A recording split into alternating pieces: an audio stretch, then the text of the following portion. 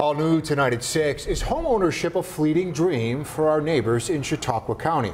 A new report commissioned by the county found that rent, housing prices, and mortgage rates have put buying a home out of reach for thousands of people at yeah. this point. And 7 News reporter Sean Mickey is spending the day in Chautauqua County to learn more about the challenges neighbors are facing. And tonight he's giving a voice to a real estate agent and a county planner. Both agree the biggest problem for home buyers right now is supply and demand.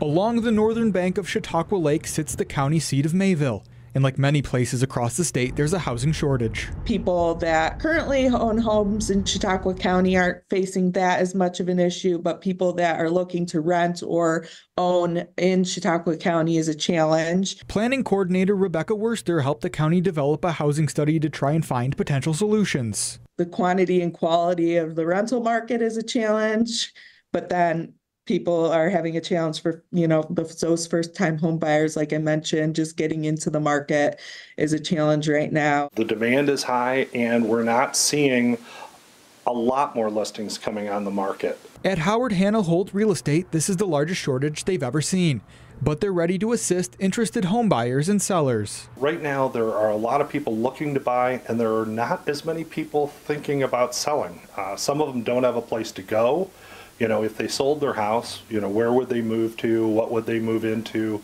Whether it's in this area or any other area. That's where the study looks to address these issues. The county now looking at opportunities with housing developers and a more robust rental market. The county plans to work with partners to identify, prepare, and market top sites for development. You can see the full report right now on WKBW.com. In Chautauqua County, Sean Mickey, 7 News.